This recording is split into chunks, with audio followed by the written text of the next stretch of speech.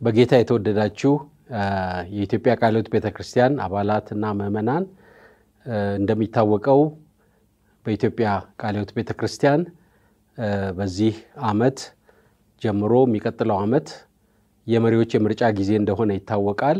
አጥቢያዎች መጀመሪያ መሪዎቻቸውን ሽማግሌዎችን ይመርጣሉ።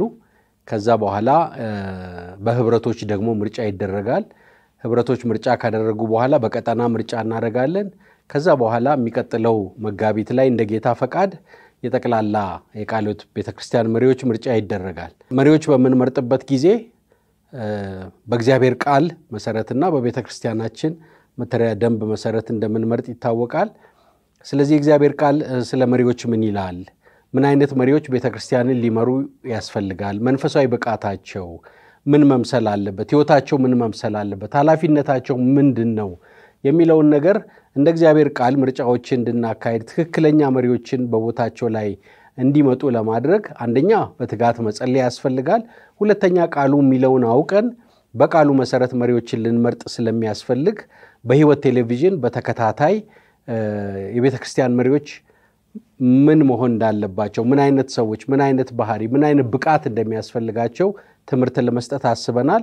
እነዚህን ፕሮግራሞች በንቃት እንድትከታተሉ በዚህም መሰረት ምርጫዎች እንዲደረጉ መሪዎችም ደግሞ ለመሆን የተጠራን ሰዎች ራሳችን በነዚህ እንድንመዝን እንድናዘጋጅ አደራ ለማለት እወዳለሁ። ይህን ፕሮግራም በተለያዩ አስተማሪዎች እናቀርባለን። በንቃት እንድትከታተሉን በጌታ ፍቅር እንጠይቃለን። አመሰግናለሁ። የአምላካችን እግዚአብሔር ስም የተባረከ ይሁን። እንዴት ሰነበታችሁ? ባለፈው ሳምንት በክፍል አንድ መንፈሳዊ መሪን በተመለከተ መሪ አውዱን በደንብ መረዳት እንደሚገባው ዓለም አቀፋዊ ግሎባል የሆነው አውድ ምን እንደሚመስል የሀገራችንም የፖለቲካውም የሀገርም አውድ ምን እንደሚመስል በዚያ አውድ ውስጥ እግዚአብሔር እንደጠራንና ያንን አውድ አውቀን ራሳችንን መንፈሳዊ ትጥቃችንን ማዘጋጀት እንደሚገባን ተነጋግረን ነበር።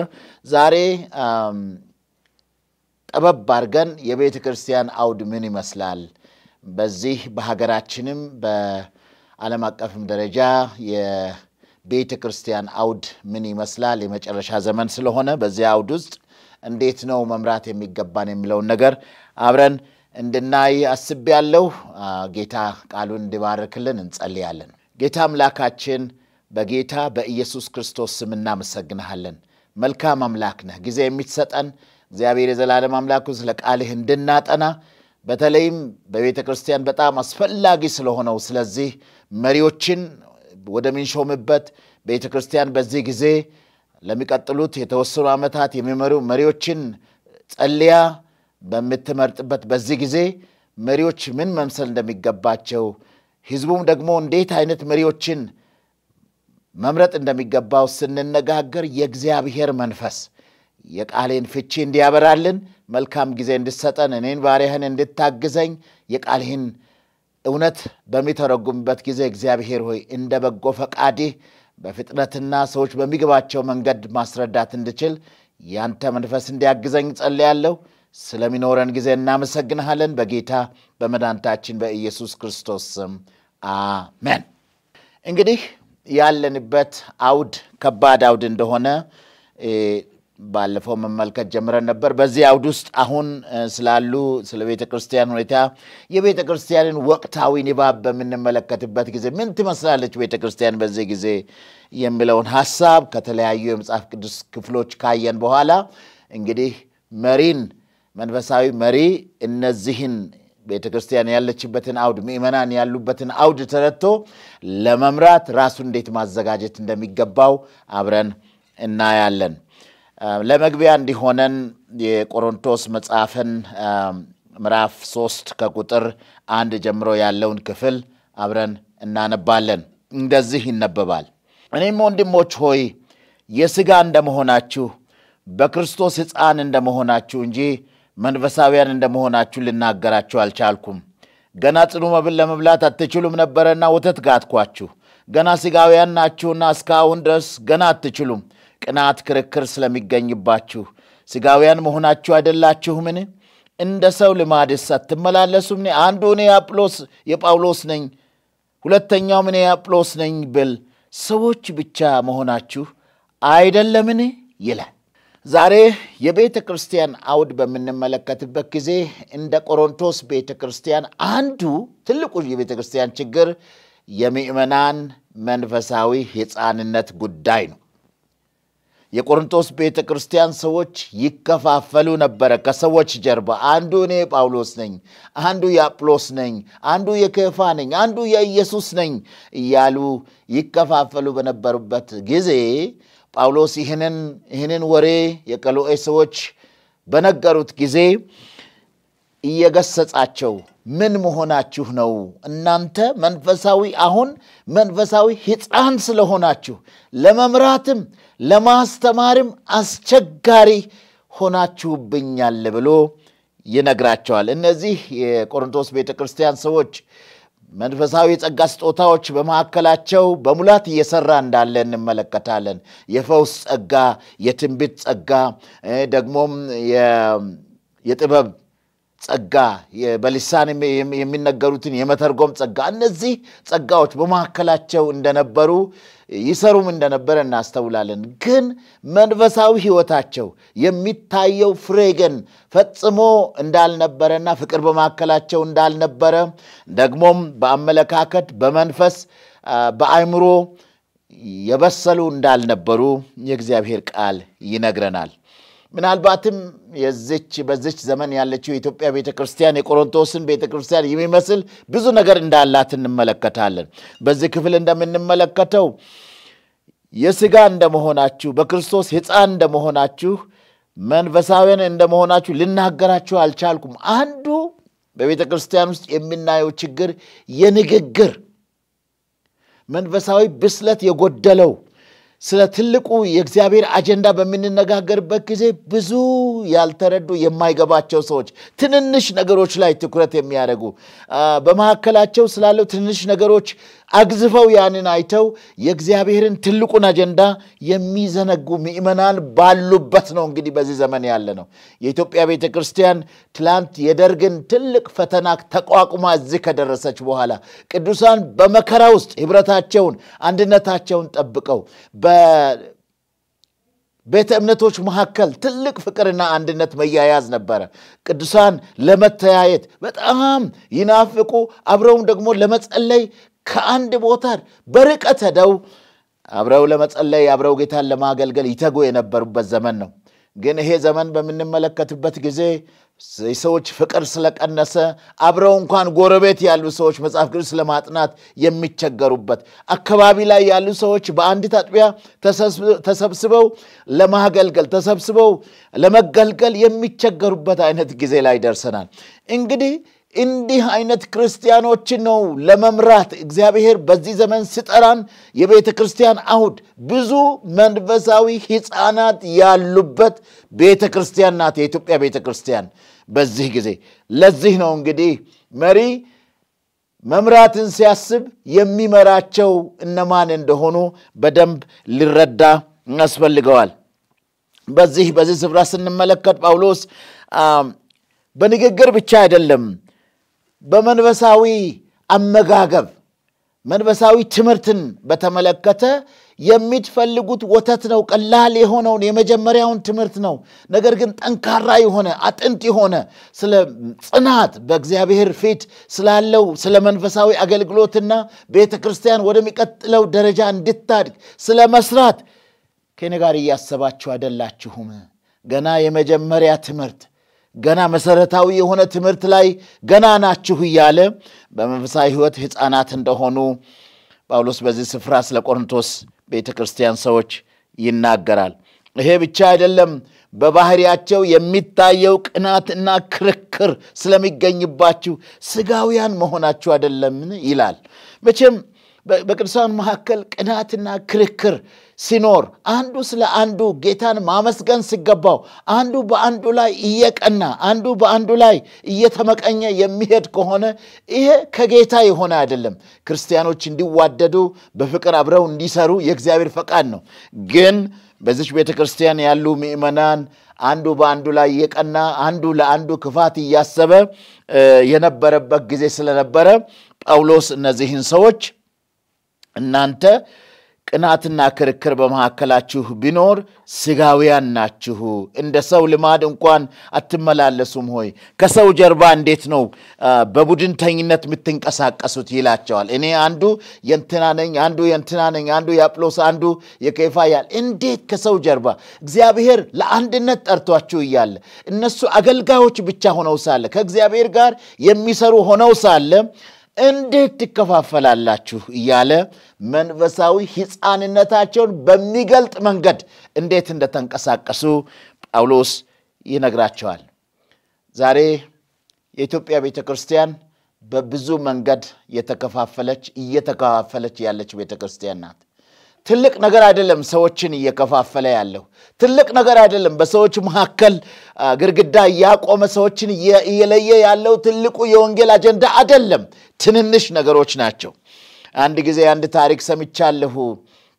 በቤተ ክርስቲያን ውስጥ ህንፃ ትልቅ ህንፃ ተገነባና በዚያ ህንፃ ምን አይነት መጋረጃ መቀመጥ አለበት የሚል ጥያቄ ተነሳ። በሽማግሌዎች መካከል በዚያ በመጋረጃው ከለር በመጋረጃው መልክ የተነሳ ክርክር ተነሳ። አንዳንዶቹ ቀይ መጋረጃ ቢሆን ይሻላል፣ ምክንያቱም ቀዩ የክርስቶስን ደም ያመለክታል፣ ለእኛ የፈሰሰውን ደም ማመልከቻ ይሆናል። ቤተ ክርስቲያን መቼም ይህንን ምልክት ብታደረግ ጥሩ ነው ብለው አንዳንዶቹ አሰቡ። አንዳንዶቹ አይደለም፣ አረንጓዴ ነው መሆን ያለበት። በዚህ ምድር እስካለን ድረስ ሀገራችን የጀመረችውን የአረንጓዴ አሻራ ጉዳይ መዘንጋት የለብንም። ምዕመናን ወደ ቸርች ሲገቡ አረንጓዴውን ሲያዩ እኛ አሁን የጀመርነውን በዚህ ምድር የሀገራችንን የማልማት ጉዳይ እንድናስብ እሱ ምልክት ይሆነናል የሚል ሌሎቹ አሰቡ። በሽማግሌዎች መካከል መለያየት ሆነ። ለጉባኤ ቀረበ። በጉባኤ ማዕከል ትልቅ ልዩነት ተፈጠረ። አንዳንዶቹ በጣም ተቆጡና እንዴት እንዴት የቀይ ቀይ መልክ የክርስቶስን ደም የሚያመለክተውን እንዴት አናደርግም? እዚህ እንዴት ይሄ ምድራዊ የሆኑ ሰዎች እንዴት ይህንን ያስባሉ? ሌሎቹ ደግሞ አይደለም፣ እንዴት ነው ከሀገራችን አሁን ከጀመረችው የአረንጓዴ አሻራ የምንነጠለው? እንዴት እንደ ቤተ ክርስቲያን ጨው የምንሆነው በዚህ መንገድ ነው እንጂ እንዴት ይሆናል ብለው ተለያዩ፣ ተከፋፈሉ። ቤተ ክርስቲያን ለሁለት ተከፈለች። ሁለቱም ተለያይተው ያንን ቤት አፍርሰው ሌላ ሌላ አንዱ አረንጓዴ መጋረጃ ያለበት ሌላው ቀይ መጋረጃ ያለበትን ቤት ሰርተው እንደተከፋፈሉ የተነሳ የሚነሳ ታሪክ አለ።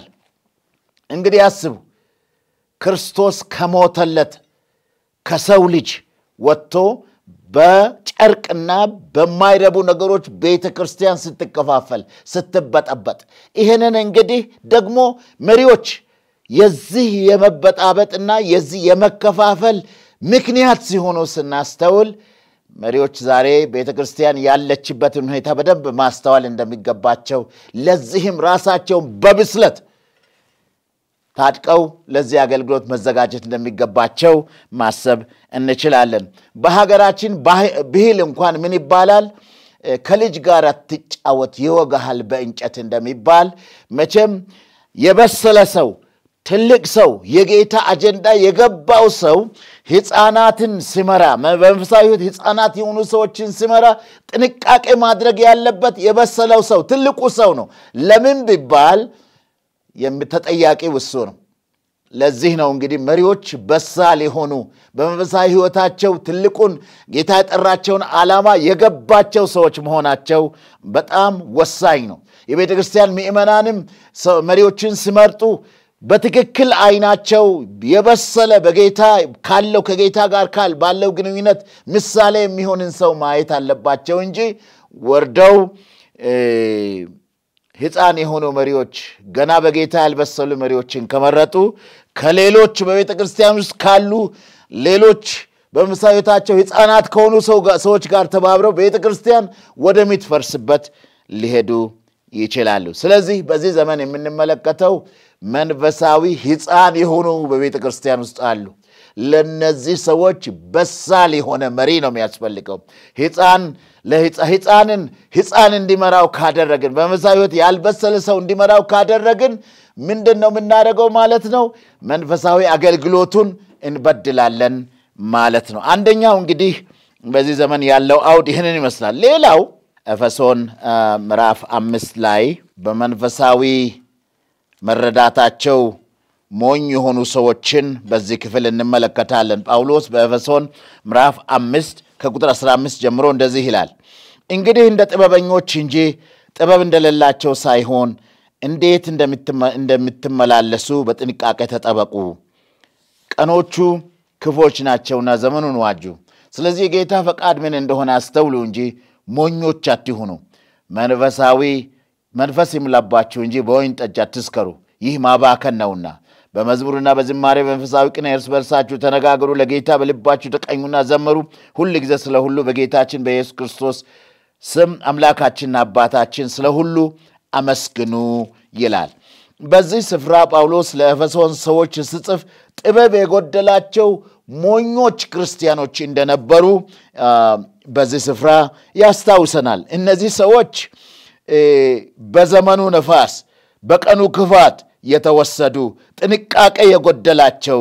ነገር ግን የጌታን ፈቃድ ከማስተዋል ይልቅ ሞኞች የሆኑና ለምድራዊ ነገር በወይኒ ጠጅና በሌሎች ነገሮች በነገር የሰከሩ ሰዎች እንደነበሩ ጳውሎስ ያስታውስና ግን እናንተ ቅዱሳን ከዚህ በተለየ ሕይወት ጌታን በሚያመሰግን በመንፈሳዊ ቅኔ እርስ በርሳችሁ እየተነጋገሩ ለጌታ ጌታ ለጌታ እየተቀኛችሁ እየዘመራችሁ እናንተ ክርስቶስን ወደ መምሰል ሕይወት ኢደጉ፣ ጥበበኞች ሁኑ፣ ሞኞች አትሁኑ ይላቸዋል።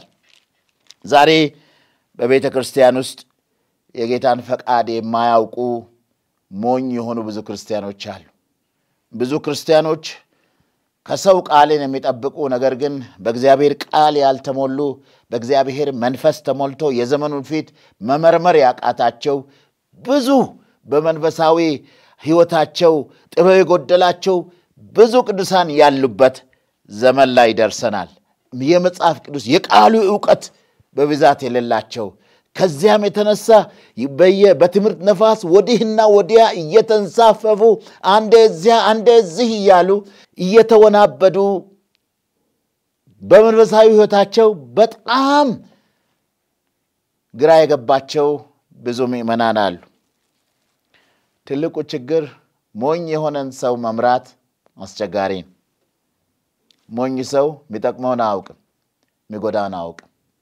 ሞኝ ሰው የሚጠቅመውን ይጎዳኛል ብሎ ሊጠራጠር፣ ይጎዳኛል ብሎ ሊሸሽ፣ ይጎዳኛል ብሎ ሊርቅ ይችላል። ግን ጥበበኛ የሆነ ሰው በጥበብ ቀስ ብሎ ሞኞች ወደ ጥበብና ወደ እውቀት ወደ ማስተዋል እስኪመጡ ድረስ ትዕግስት ያስፈልጋል። ቤተ ክርስቲያን አሁን እንግዲህ በዚህ ጊዜ የምትፈልገው በጣም ጥበበኞች የሆኑ ሞኞችን ወደ እግዚአብሔር እውቀት ሊመልሱ የሚችሉ ሰዎችን ዘመኑን በደንብ ተረድተው የዘመኑን ፊት አንብበው ለዘመኑ የሚመጥንን መልእክት ማምጣት የሚችሉ መሪዎች ቤተ ክርስቲያን የምትፈልግበት ዘመን ላይ ደርሰናል። ጳውሎስ ወደ ኤፌሶን ልኮ ሽማግሌዎችን የኤፌሶን ሽማግሌዎችን በሚልጥን አስጠርቶ ሲሰናበት እንደተናገረው ጨካኞች ብዙ ቅዱሳን ወደ ኋላቸው የሚስቡ በመንፈሳዊ መልክ አስመስለው ነገር ግን መንፈሳዊነት በሌለው መንገድ የብዙ ቅዱሳን ሕይወት የሚያበላሹ ጨካኞች እንደወጡ ዛሬ በትክክል ማስተዋል እንችላለን። መንፈሳዊ በመሰለ መንገድ ከእግዚአብሔር ሐሳብ የወጡ ብዙ ሰዎች አሉ። ከእግዚአብሔር ጋር የተጣሉ የተቆጡ ብዙ ሰዎች አሉ። ጌታ ያልተናገራቸውን ተናግረው የብዙ ሰዎችን ልብ ያቆሰሉ ከእግዚአብሔር ጋር ያለውን ግንኙነታቸውን ያበላሹ ብዙ ሰዎች አሉ። እንግዲህ በእነዚህ ሰዎች መካከል ነው እግዚአብሔር በዚህ ዘመን ከሾመን እነዚህን ሰዎች እንድንጠብቃቸው እነዚህን ሰዎች በትዕግስት ወደ እግዚአብሔር ሐሳብ እንድናመጣ ነው የእግዚአብሔር አጀንዳ። አንድ ታሪክ ሰምቻለሁ። አንድ ሰውዬ ወደ አንድ ክርስቲያን ቤት ገብቶ ቤታቸውን እንዲህ አየና በቤታችሁ ሰላም ያለ አይመስለኝም፣ ምክንያቱም የዚህን ቤት አስራት ከፍላችኋል ብለው ይጠይቃቸዋል። ሰዎቹ የቤት አስራት እንዳለ አናውቅም። ከምናገኘው ከገቢያችን አስራት እየሰጠን ነበረ እንጂ የቤትም አስራት እንዳለ አልሰማንም፣ አላወቅንም፣ ስለዚህ አልከፈልንም አላቸው። አዎ ለዚህ ነው ቤታችሁ ሰላም ያልሆነው በቤታችሁ ውስጥ ጭቅጭቅ፣ ባልና ሚስት ክርክር፣ አንዳንድ ጊዜ መጋጨትም የሚኖረው ከዚህ የተነሳ ነው። የዚህ ቤት ዋጋ ተምኑና አሁን አስራቱን እዚህ አምጥታችሁ በእኔ እግር ካስቀመጣችሁ እኔ ጸልይላችኋለሁ፣ ከዚያ በኋላ ቤታችሁ ሰላም ይሆናል ይላቸዋል። በዚያን ጊዜ እንግዲህ በቆየ ከተሰራ ቤቱ ምናልባት መቶ ሺህ ብር ሊሆን ይችላል። ስለዚህ አስር ሺህ ብር አሁን እዚህ አምጥታችሁ ካልሰጣችሁኝ እኔ ካልጸለይኩላችሁ ይሄ ቤት ቤታችሁም ሰላም አይሆንም፣ ልጆቻችሁም ሰላም አይሆኑም ብሎ ያስፈራራቸዋል። ያን ጊዜ ደነገጡና ቤት ውስጥ አሁን ያለው ሳጥናችን ያለው አምስት ሺህ ብር ብቻ ነው፣ እንዴት እናድርግ? ሂዱና ተበደሩ። ይሄ ዛሬ ማለቅ አለበት፣ ዛሬ ካላለቀ በቃ ችግር ይመጣባቸዋል ብሎ አስፈራራቸው። ባል አምስት ሺህ ብር ፍለጋ በሄደበት ሌላ አንድ ክርስቲያን ጎረቤቱ ጋር እንዲህ እኮ አንድ ሰው መጥቶ ጸልይላችኋለሁ፣ ግን የቤት አስራት ክፈሉ አለን ብሎ ሲነግረው እንዲህ የቤት አስራት ከተከፈለም ለቤተ ክርስቲያን ይከፈላል እንጂ ለመንገደኛ ቤታችሁን ለጉብኝት ለመጣው ለማንም እንዴት ተወስዶ ይሰጣል ስለው ወደ አእምሮ ተመለሰ። እውነት ነው። አስራት በቤተ ክርስቲያን መጽሐፍ ቅዱስ የሚለው ለቤተ ክርስቲያን ለአገልጋዮቻችን ቀለብ እንዲሆን ነው የምንሰጠው እንጂ እንዴት ብዬ ነው ያላስተዋልኩት ብሎ ወደ ማስተዋል መጣና ያንን አስር ሺህ ብር ከመዘረፍ እንደተጠበቀ ሰዎች ሲናገሩ ሰምቻለሁ። እንግዲህ በዚህ ጊዜ ብዙ ቅዱሳን ከእግዚአብሔር ቃል ስለራቁ ማንም ያለውን ነገር እየሰሙ በሕይወታቸው እየተጎዱ የሚመላለሱበት ዘመን ነው። መሪዎች ያስፈልጉናል፣ በጥበብ የተሞሉ መሪዎች። እነዚህን በመንፈሳዊ ሕይወታቸው በልምምዳቸው ከእግዚአብሔር ቃል ያፈነገጡትን ደግሞም በሞኝነት በየዋህነት በብዙ ነገር ውስጥ የገቡ ሰዎችን የመመለስ ጥበብ ያለንን ሰዎች በዚህ ጊዜ ቤተ ክርስቲያን ትፈልጋለች። ስለዚህ ምእመናን ሆይ እግዚአብሔር እንዲሰጣችሁ ጸልዩ። በጥበብ የተሞሉ ሰዎች ሰዎችን ከሚሄዱበት ከተሳሳተ አቅጣጫ የሚመልሱ ሰዎችን እግዚአብሔር እንዲሰጣችሁ ጸልዩ። በዚህ ዘመን በኢትዮጵያ ቤተ ክርስቲያንም በመላው ዓለም አቀፍም ደረጃ ብዙ በመንፈሳዊነት ስም ብዙ የሚሞኙ ብዙ ችግር ውስጥ የገቡ ሰዎች ስላሉ ቤተ ክርስቲያንም ምእመናንም ጥንቃቄ ማድረግ የሚገባቸው ጊዜ ነው። ይህንን እንግዲህ መስራት የሚገባው መሪ ነው። ጳውሎስ ለጢሞቴዎስም እየተናገረ በተለይም በአንደኛና በሁለተኛ ጢሞቴዎስ እየተናገረ የሚናገረው እሱን ነው። ቤተ ክርስቲያንን የመጠበቅ ኃላፊነት፣ ቤተ ክርስቲያንን ከተኩላዎች የመጠበቅ ኃላፊነት፣ ተኩላዎች በቤተ ክርስቲያን ውስጥ በጎችን የዋህ የሆኑትን በሕይወታቸውም በኑሯቸውም በልምምዳቸውም ከእግዚአብሔር ሐሳብ እንዲወጡ እያደረጉ ስለሆነ ያንን ጥንቃቄ ለማድረግ ነው። ሶስተኛው በመንፈሳዊ እንቅልፍ ውስጥ ያሉ ሰዎች አሉ። ይህንን በሮሜ ምዕራፍ 13 ያንን ክፍል አንብበን ጥቂት ሀሳቦችን ጨምራለሁኝ በዚህ ላይ ሮሜ ምዕራፍ 13 ስንመለከት እንደዚህ ይላል ከቁጥር 11 ጀምሮ ከእንቅልፍ የምትነሱበት ሰዓት አሁን እንደደረሰ ዘመኑን ይወቁ። ካመንበት ጊዜ ይልቅ መዳናችን ዛሬ ወደ እኛ ቀርበዋልና፣ ሌሊቱ አልፏል፣ ቀኑ ቀርበዋል። እንግዲህ የጨለማውን ሥራ አውጥተን የብርሃንን ጋሻ ጦር እንልበስ። በቀን እንደሚሆን በአግባብ እንመላለስ። በዘፈን በስካር አይሁን፣ በዝሙት በመዳራት አይሁን፣ በክርክር በቅናት አይሁን። ነገር ግን ጌታን ኢየሱስ ክርስቶስን ልበሱት፣ ምኞቱን እንዲፈጽም ለሥጋ አታስቡ ይላል። ሦስተኛው አይነት ሰዎች መንፈሳዊ እንቅልፍ ውስጥ ያሉ ሰዎች ናቸው። እንግዲህ መቼም እንቅልፍ ላይ ያለን ሰው ካላነቀነው በስተቀር የምንናገረውን አይሰማም። ደግሞ ካላነቃነው በስተቀር ምን እየተደረገ እንዳለ አያስተውልም፣ ራሱን አይከላከልም። ያንቀላፋ ሰው እናውቃለን። በስጋ ያንቀላፋ ሰው በአቅሙ የመጨረሻ ደረጃ ላይ እንዳለ ማስተዋል እንችላለን። እና በመንፈሳዊ እንቅልፍ ውስጥ ያሉ ብዙ ሰዎች አሉ። ለዚህ ነው እንግዲህ መሪዎች የሚያነቁ ሰዎች መሆን ያለባቸው። በዚህ ስፍራ ስንመለከት እነዚህ የተኙ ሰዎች አንደኛ የጨለማን ስራ ለብሰው ነው እስካሁን ያሉት። ምክንያቱም በጨለማ ውስጥ ናቸው እነዚህ ሰዎች። አልነቁም። የለበሱትን check አላደረጉም። ሰዎች ከእንቅልፋቸው ስነቁ ልብሳቸውን ይቀይራሉ። ለቀን የሚሆን ልብስ አለ፣ ለማታ የሚሆን ልብስ አለ እና እነዚህ ሰዎች በመንፈሳዊ ሕይወታቸው ለቀን መልበስ የሚገባቸውን መጽሐፍ ቅዱስ በዚህ ስፍራ እንደሚል ክርስቶስን ልበሱት እንደተባለው ክርስቶስን ያለበሱ ሰዎች በአግባብ በቀን መመላለስ እንደሚገባቸው መመላለስ ያልጀመሩ ሰዎች፣ በመንፈሳዊ እንቅልፍና ድካም ውስጥ ያሉ ሰዎች እንዳሉ ያመለክታል። ይሄ ቀጥታ የዘመናችን ነጸብራቅ እንደሆነ ማስተዋል እንችላለን። እኛ ባለንበት በዚህ ዘመን ብዙ በመንፈሳዊ እንቅልፍ ውስጥ ያሉ ሰዎች አሉ። ክርስቶስን ያለበሱ የእግዚአብሔርን ዕቃ ጦር ለብሰው ከጠላት ጋር ለመጋጠም በሚመጣው በዚህ በሚገጥማቸው ነገር ያንን ገጥመው የእግዚአብሔርን ስም አስከብረው ለመሻገር የቆረጡ ደግሞም የነቁ ብዙ ሰዎች የሌሉበት ዘመን ላይ ነው። እንግዲህ እንዲህ አይነት ዘመን ላይ ነው እግዚአብሔር መሪዎችን ለቤተ ክርስቲያን እንድንመርጥ እየጠየቀን ያለው።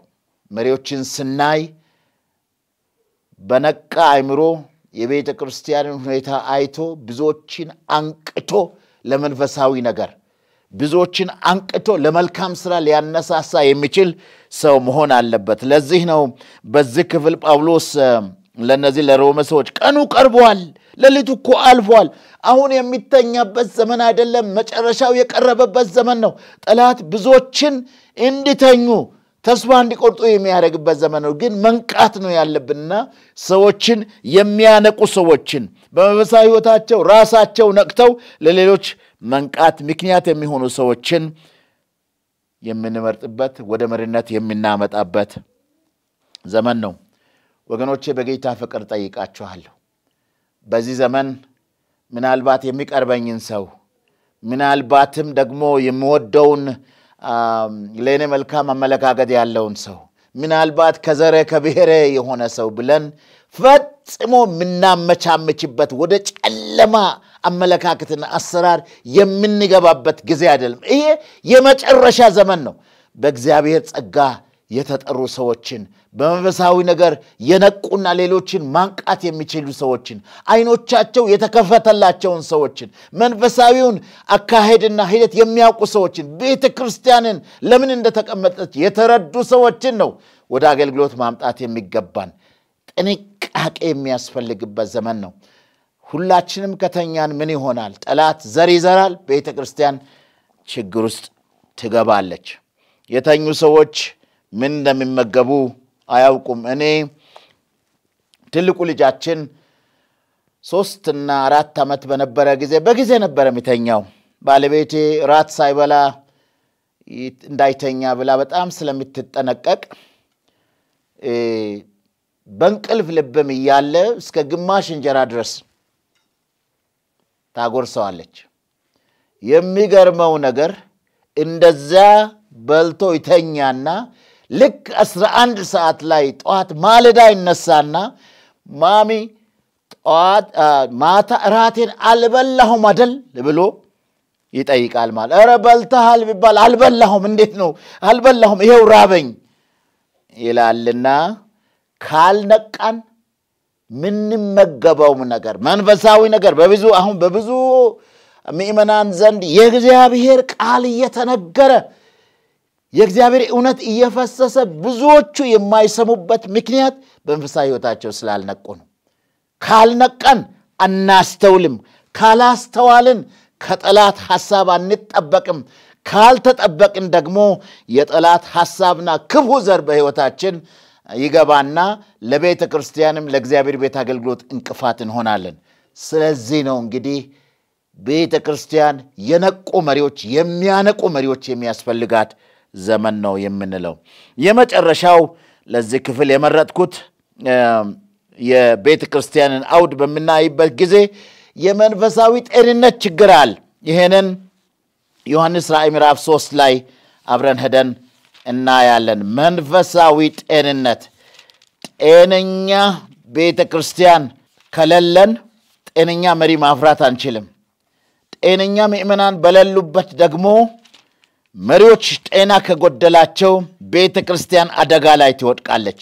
የዮሐንስ ራእይ ምዕራፍ ሦስት ከቁጥር ሁለት ላይ በተለይ ስለ ሰርዴስ ቤተ ክርስቲያን የተጻፈውን እንዲህ ይነበባል። ስራህን አውቃለሁ፣ ሕያው እንደመሆንህ ስም አለህ፣ ሞተህማል። ስራህን በአምላኬ ፊት ፍጹም ሆኖ አላገኘሁትምና የነቃሁን ልሞቱም ያላቸው የቀሩ ነገሮችን አጽና። እንግዲህ እንዴት እንደተቀበልህና እንደሰማ አስብ፣ ጠብቆም ንስሐም ግባ ይላል የእግዚአብሔር ቃል። እነዚህ የሰርዴስ ቤተ ክርስቲያን ሰዎች ብዙ የታመመባቸው ነገሮች ነበሩ። መንፈሳዊ አገልግሎታቸው፣ በመካከላቸው ያለው ህብረት። ለዚህ ነው እንግዲህ በአምላክ የፊት ፍጹም ሁን ስራ ፍጹም ሆኖ አላገኘሁትም፣ ግን አሁን ፍጹም ሁን፣ የነቃ ሁን የእግዚአብሔር ቃል የሚለው ከዚህ የተነሳ ነው። እንግዲህ በዚህ ዘመን በአውዳችንም በቤተ ክርስቲያንም ስንመለከት በቤተ ክርስቲያን ውስጥ የነበሩ ጠንካራ የነበሩ ነገሮች ብዙ እየደከሙ በክርስቲያኖች መካከል ያለው ህብረት ግንኙነት ለወንጌል ያለው መቀጣጠል ብዙ እየቀነሰ ያለበት ዘመን ላይ ነን። በጌታ ፍቅር አሳስባቸዋለሁ። መንፈሳዊ ጤንነት በጎደለበት ዘመን ጤነኛ የሆኑ መሪዎች መመረጥ አለባቸው። ሁላችንም በሽተኛ ከሆነ መሪውም ተመሪውም በሽተኛ ከሆነ ትልቅ ችግር ላይ እንወጥቃለን። መሪዎች ቢያንስ ቢያንስ መሪዎች ጤነኛ ከሆኑ ቤተ ክርስቲያንን ወደ ጤናማ ትምህርት፣ ወደ ጤናማ አገልግሎት ሊያመጡ ይችላሉና ያለንበት አውድ አስቸጋሪ አውድ ነው። ብዙ የተኙ ሰዎች ያሉበት፣ መንፈሳዊ እንቅልፍ ውስጥ ያሉ ሰዎች ያሉበት፣ ብዙ ጥበብ የጎደላቸው ሰዎች ያሉበት፣ ብዙ መንፈሳዊ ጤንነት የጎደላቸው ሰዎች ያሉባት ቤተ ክርስቲያን ናት የኢትዮጵያ ቤተ ክርስቲያን ዛሬ። ለዚህ ነው እንግዲህ እኛ እግዚአብሔር በዚህ ዘመን ወደዚህ ወደ አገልግሎት የሚያመጣን ሰዎች ይህንን አውድ ተረተን ብዙ ሕፃናት ያሉበት ቤተ ክርስቲያን እንደሆነች ተረተን በዚህ አውድ ውስጥ ለማገልገል መታጠቅ አለብን። የቤተ ክርስቲያን ምእመናንም ከዚህ አንጻር አውዱ ይሄ ከሆነ ለዚህ አውድ ማን ነው የሚያስፈልገው? ማንን ነው እግዚአብሔር የሚጠራው? እያልን እየጸለይን በዚህ ዙሪያ እንድትመካከሩ በጌታ ፍቅር ለማሳሰብ ነው። ስለተከታተላችሁ የእግዚአብሔር እግዚአብሔር አምላክ ይባርካችሁ። የእግዚአብሔር ጸጋ ይብዛላችሁ። እየጸለያችሁ በዚህ ዙሪያ እየመከራችሁ አብራችሁ ጌታ መልካም ሰው እግዚአብሔርን የሚፈሩ ሰዎችን እንዲሰጣችሁ እጸልያለሁ። ጌታ ኢየሱስ ይባርካችሁ። መልካም ጊዜ ይሁንላችሁ።